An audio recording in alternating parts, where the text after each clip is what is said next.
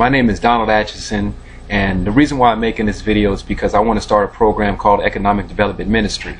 I think that economic development program is for you because if you're sitting at home, if you are, don't have the job that you want, or you're, you're unhappy in the job that you're um, in, and you're not taking the extra money that you have and then investing it, I think that um, that this program is for you. The lower class, the lower class of income, lower middle class of income, people who know what it's like to not be able to pay bills consistently, but they have that that they have something special that goes beyond just being poor. Not only can they see themselves with something more, they want it, they're hungry, and they're willing to do what they have to do to make it happen. Those are the ones that I'm looking for in particular. You know, like, and coming here, like, the energy that I feel from every person, every individual that's a part of EDM is is just wonderful, you know, and it makes you want to like go out there and like chase your dreams, you know, even if they don't seem like they're possible, but they really are. You just have to believe. teach this and I teach it all the time. And I know you know where I'm gonna go. Fail forward. You gotta take you gotta have a whole bunch of failures to win one time.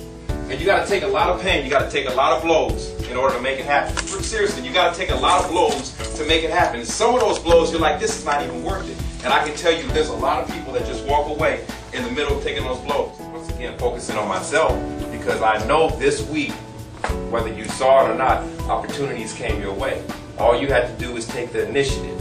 If you didn't take the initiative, the opportunity kept on going because that's how life works and that's how opportunities come and that's how opportunities go. Thing about it is sometimes bad opportunities come to us too. Sometimes we grab onto those bad opportunities and the thing about this classroom is this. I say it all the time. I'm going to write this down with this chicken poop little, little marker. But it's a word that I'm going to continue to focus on because it's a word that's very important to me, and that's mindset, mentality, how we think, how we see things.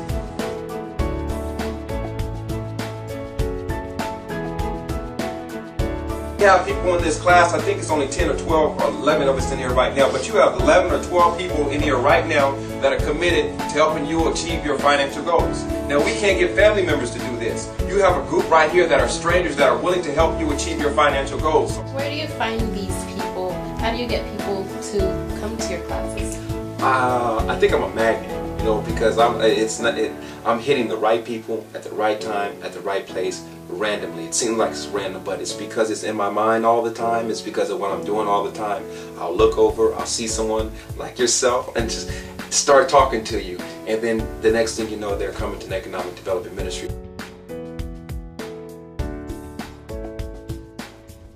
What inspires me is associating with a group of people that I have never really ever in my wildest imagination thought that I was going to be a part of a group where you know everyone had they're kind of tuned in on the same frequencies and they are learning as we go. So I never really been um, part of a group that offers so much. Yeah, and like I think what Mike is trying to say is like you are who you associate yourself with, and if we are around a lot of people who are like go-getters, you know, achieve their goals and their wildest dreams and be able to help people at the same time give back, I think that's what's really important to us, just to be around the same people who have the same mindset. Like, Um, can you did, um, further explain why EDM is not an, econo- an academic class? Well, academics, we, we, we've had academics in elementary, junior high, high school. Some of us, we graduate with these degrees and still uh, life is financially miserable.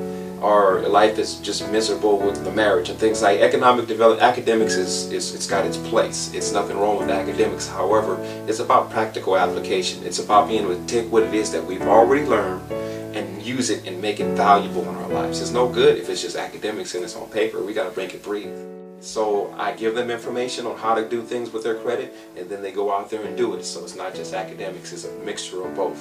I think it's a hybrid, and that's uh, where what makes us superior to when it comes down to the other organizations. We're not just teaching, and we're not just charging for our services. We're actively engaged and involved with each individual.